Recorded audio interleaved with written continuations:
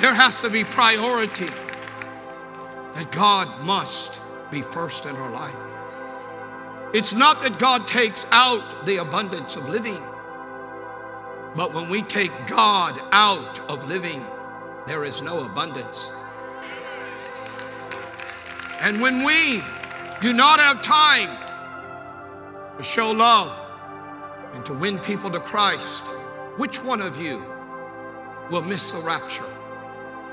Which one of you have come here and would be driving down the road Dan Ryan, the Bishop Ford, wherever you might be, which one of you will be in a plane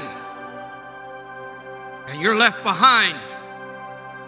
You played one more game. You played one more club. You played one more curse. You played one more hate.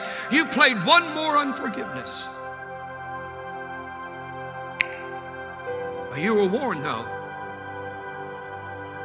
Maybe I'll be crying when the Lord says, Depart from me, I never knew you. You'll have to say, you will have to say this, Pastor Steve. You did try to tell me, but I laughed at you. I didn't think it was that close. Let me just tell you, you just need to be ready when it happens.